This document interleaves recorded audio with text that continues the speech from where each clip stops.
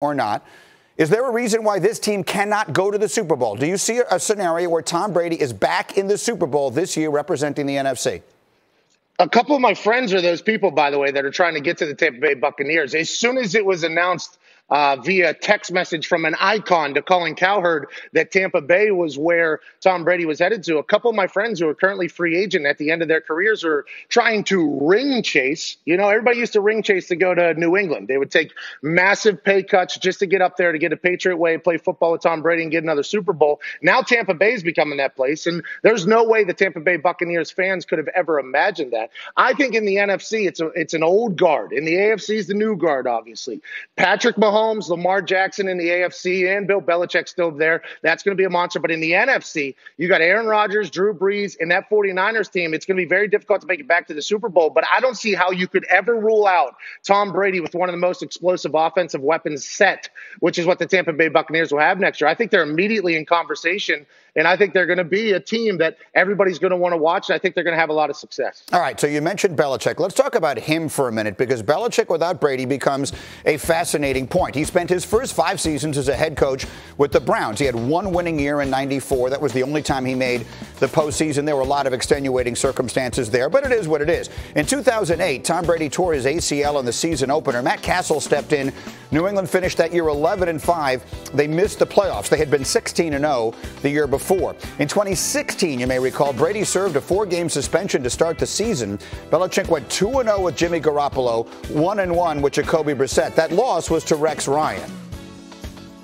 I don't think they realize how huge a loss this is going to be. I faced Belichick one game without Tom Brady at quarterback. All right. And they were 3 and 0 at the time. We ended up going to Foxborough with the Buffalo Bills team, an average Buffalo Bills team. And not only did we beat them, we shut them out 18 nothing. Does it make a difference? It makes a huge difference, and they're getting ready to find out. That was Rex with us just the other day. So, McAfee, let's talk about Bill without Brady. What, what do you think is at stake for him right now? Well, I think Rex Ryan should take a little bit more credit on himself as opposed to on the Patriots without Tom Brady. I think Rex Ryan and the Ryan family, not only legends of humans, but defensive minds, they're great. And Jacoby Brissett was a rookie quarterback basically at that time. So anytime you have some exotic defenses going against a rookie quarterback, they're going to have success. And the fact that he was able to shut them out is absolutely beautiful. But if you talk about Jimmy G and Jacoby Brissett and even Hoyer, who has had success other places, now granted, he threw like 15 interceptions in one game for the Colts last year. But I think Bill Belichick and Josh McDaniels have the mindset that we can groom a good quarterback here. They, I don't know if Jarrett Stidham's their guy, but I think they have a lot of faith in the fact that there has been great quarterbacks in their organization who has gone on to do great things in other places. Jacoby Brissett a year ago for the first eight games before Cam Heyward picked up an offensive lineman and dumped him on his knee was an MVP candidate. That's a 100% a fact. He was playing great football. So I think Bill Belichick, Josh McDaniels. You saw Bill Belichick knocked out of the combine. You've seen Bill Belichick do things over the last 20 years that no other coach or GM would be able to get away with. But that's because he has a massive brain. And I think whatever quarterback gets in there is going to be a quarterback that they like, is going to be a quarterback that's good. But I don't see them having a better year than Tom Brady and the Tampa Bay Buccaneers. I just think it's going to take a little bit for the 70 year old coach. All right. And so let's, uh, one more thing here. You mentioned that the AFC is sort of the new guard, with the exception, of course, of your favorite favorite team, the beloved Indianapolis Colts, who sign old man Philip Rivers, if you will. And Rivers trying to get to the Super Bowl for the first time, and he comes to a team in Indy there that feels like it's got a lot of pieces in place with a really good offensive line, and they've got uh, some weapons, T.Y. Hilton, et cetera. How good do you think that team is? Philip Rivers and the Colts, are they a legit Super Bowl team in the AFC? Well, they're my favorite team because they grossly overpaid me for a long time to do something that was minimal work. So I absolutely love the Indianapolis Colts. I think Philip Rivers was a good signing. Now, towards the end of the year last year, it did look like old man Philip Rivers was throwing a med ball there a little bit. But I think he got to the point where he got to the, oh, to hell with it. I'm just going to throw it into defensive meetings to see what we got. I got a DM from Jacob Hester, the old school LSU legend who played with Philip Rivers with the Chargers. He said, anybody that plays with Philip Rivers, Philip Philip Rivers is their favorite teammate because the guy just absolutely loves football. He's a competitive man. He likes growing his family and he likes ball. That's all his life revolves around. He told me a story about how one year, whenever they came and played against the Colts, the night before the game, the Indiana High School State Football Championship was happening at Lucas Oil Stadium. Philip Rivers dragged Jacob Hester over there just because he wanted to see what Indiana High School football was like. This is a guy whose legacy is very much contingent upon whether or not he can get a Super Bowl. Him and Eli Manning had basically the same exact career after that draft night fiasco, and Eli Manning won two Super Bowls. Philip Rivers did not. The man that loves football is uber competitive. If he can take this team that is very well put together to a Super Bowl, that not only helps his legacy, it helps the Colts and Chris Ballard. I'm just not 100% sure what the hell they're going to do with Jacoby Brissett. All right, McAfee, it's great to see you, my man. Let's do this again soon. You stay safe, and we'll check in again. Thanks, my man. Greeny, you don't need makeup either. I think this should be the new you. well, that's a, a, debate we can have another time. Uh, coming up next, we'll have First Take, then Sports Center, NFL Live, the latest free agency news. The Jump is back with up-to-the-minute NBA news. Sports Center is back at 6. Two-hour bracket special. College basketball's greatest of all time is at 7 Eastern. The top 64 men's and women's players ever. Then a primetime NFL free agency special is at 9. And cap the day with Sports Center with SVP at 11 Eastern. We are here for you with the sports on ESPN. Coming up next on Get Up, when might we see LeBron and Anthony Davis and the other NBA stars back on the floor? The commissioner, Adam Silver, lays out the options next.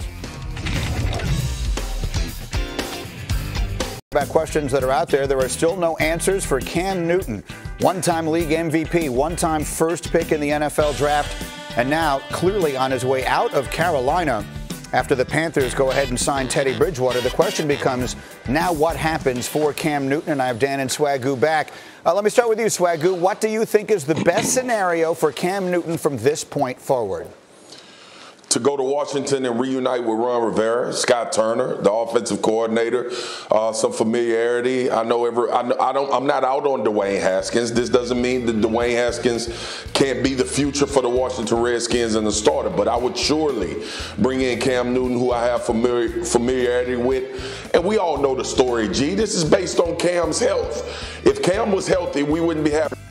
He'd be one of those quarterbacks that flew off the shelf and somebody would have picked him up uh, to be their starter. But at this point, I don't see any reason not to bring Cam in. I said it when I said Teddy Bridgewater should go to Tampa Bay and challenge Jameis Winston for a starting spot or even push him to a higher level than he could go. I feel the same way in Washington with Cam reuniting with a coaching staff he's familiar with and go push the young rookie to be who he is. And then Cam ultimately gets healthy and finds his landing spot to become a starter again. The thing I keep thinking, Dan, is if, if the Cam Newton was healthy, then he wouldn't be leaving Carolina right now. The Panthers know better than anyone else does. What do you think is the best scenario for Cam Newton now? Yeah, I'd say the Los Angeles Chargers, Greeny. I mean, the Chargers for a couple of reasons. One, Anthony Lynn is an outspoken coach that he wants his quarterback to be able to move. He thinks if you're a stationary quarterback in today's NFL, you're dead. Two, the Chargers are really in a win win right now mode. I mean, a top five defense. We all know about their weapons on the outside. A very good or much improved offensive line with the two additions of Trai Turner and Brian Bulaga. I, Greeny, I just can't wrap my head around the fact that Cam Newton's not going to be a starting quarterback quarterback. I think that the Chargers should at least entertain it. But if that doesn't happen, I also think the Chargers should draft Jordan Love at the sixth pick. So um, I just can't wrap my brain around Cam Newton not being a potential starting quarterback in 2020. All right, Dan, Marcus, stay with me. Much more football as we go, but there's other news out there in the sports world. And let's start with this. The Lakers players were tested for the coronavirus yesterday, four days or coming after four Brooklyn Nets players, excuse me, tested positive. Brooklyn and the Lakers were the last opponents before play was suspended. Last night, the NBA's commissioner Adam Silver was with Rachel Nichols here on ESPN talking about three scenarios the league is considering in trying to return.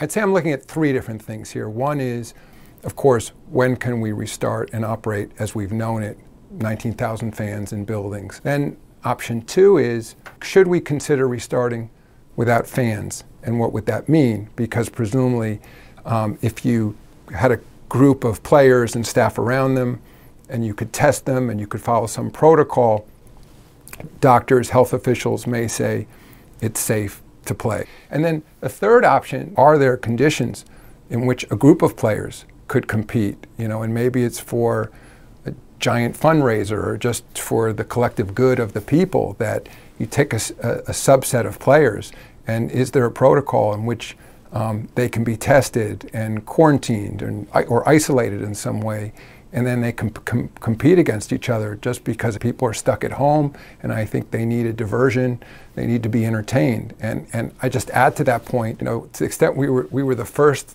to shut our league down, in what way can we be a first mover to help restart the economy?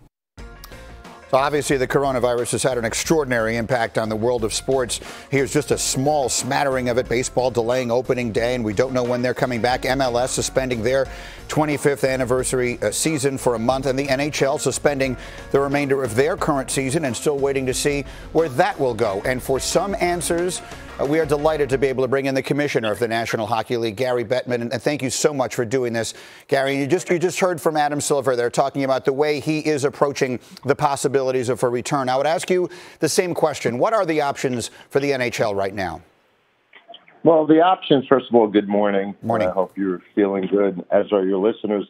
Uh, the options are obvious, and we're all exploring them. Uh, the fact of the matter is, none of us is going to be able to do anything until we get an all clear on some basis. Uh, we too have explored and continue to explore every scenario, uh, which will depend on the timing of, of when it's safe to go out. Uh, but I think the most important thing in the short term is we should be focusing not just in sports, but we can be a good example on the fact that, that self isolation is going to help the spread uh, or reduce the spread of the coronavirus. And that's what we're focused on, keeping our players safe and setting a good example. Obviously, that is important. I, I do want to hear your thoughts on what the all clear looks like. H- whom is it that you are consulting with on those sorts of things? I think sports fans would be interested to hear someone in your position who has all of this. Um, so much responsibility. From where would you get that all clear, and who are the people that you consult with and hear from? Well, we we have our own internal medical people that we use on a regular basis, uh, and we also have consultants uh, who are specialists in infectious disease. Uh, but more importantly, it's going to be with the local governments and perhaps the federal government tell us about what is safe. In other words, we we were playing uh, as governments one by one were suggesting, uh, first suggesting and then ordering that sports stopped playing. I mean, when when the NBA stopped, uh, obviously they had to deal with the fact that a player had tested positive, and the team wouldn't take the court, and they had a full building of fans. Uh, we discontinued, suspended the rest of the season a little off. We're taking a pause, but we suspended the next day because every scenario we came up when we were all playing with said that once a player tested positive, it was over uh, in terms of being able to continue to play.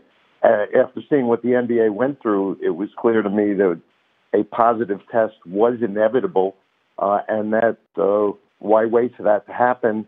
Let's stop playing now, and that's why I had a call with the board on Thursday, and by Thursday night we had taken a pause in the season. But a lot of what's going to happen, we can be as creative as sports leagues as we want, and we should be. We should be considering every scenario, whether or not we play to full buildings, whether or not we play to empty buildings. But it's going to be determined by people uh, and organizations beyond us with the scientific and medical expertise that will tell us when it's okay to play. Curious about the calendar. That, that's obviously something that there's so much uncertainty, but your season generally ends around the same time as the NBA's does. The playoffs and the Stanley Cup finals will end sometime in early June, um, and, and then you go into their summer and the next season's considerations. So, is there a point at which it will become impossible for you to continue this season or to have a playoff for this year? Well, I believe that under the current circumstances, we can go later than we've ever gone. Uh, how late is a good question. Uh, what we want to make sure of is that we don't do anything uh, that from this season that might impact next season having the normalcy it's supposed to have. So the, the two factors are timing relative to how late we can go without impacting next season, uh, and making sure that whatever we do competitively, if we're going to complete this current season, it has to have integrity. It has to be respectful of the well over 100 year history of the Stanley Cup. Uh, and that's something we're very focused on. And, and, finally, I would ask you, what, what are you hearing from your players during this time when there is so much uncertainty for all of us? What, what kinds of things, questions are you hearing from your players? Well, the, the, questions, the, the questions that get the most uh, asked relate to testing. Um, we, we we had a test positive our first two nights ago. Uh, there have been some players testing, but the medical advice that we're being given is that if you're asymptomatic, there's no reason to be tested because it's not going to tell you anything. So we're not over testing.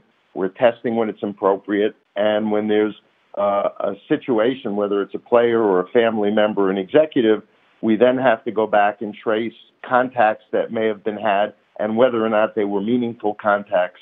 But in the final analysis, getting people, whether it's sports or society as a whole, to self isolate and reduce the spread of the coronavirus is probably the most important thing that any of us can do. And then a quick final question for you here. I only have a moment, but I would wonder with so many of you, we just showed how many of the different sports leagues have been impacted by this. What, if any, communication and, and brainstorming have you done with people like Adam Silver and the leaders of the other sports who are being impacted by this? Uh, we've all been in contact. We're all dealing with the same issues. We're all having similar responses. Uh, I don't think anyone has a, a, a, magic potion as to what the right thing to do is. Uh, we're all staying flexible. We're all considering the alternatives. We're all staying uh, in touch with our constituents. I have uh, at least one conference call a day with, with a task force that we have internally at the NHL. We're having conference calls on a regular basis uh, with our clubs.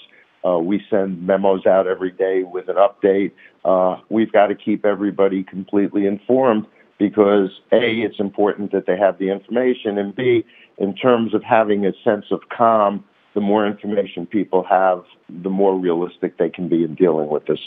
Gary, I really appreciate you doing this. Thank you. We'll, we'll talk again under hopefully more cheerful circumstances. You stay safe, and thank you very much for the time. Thank you, and you too. Stay safe, stay healthy. All right, take care. That's Gary Bettman, the commissioner of the National Hockey League. Again, there are just so many more questions right now than there are answers. We'll continue. Tom Brady to Tampa. A lot of answers we're looking for there. Louis Riddick will provide them right after this.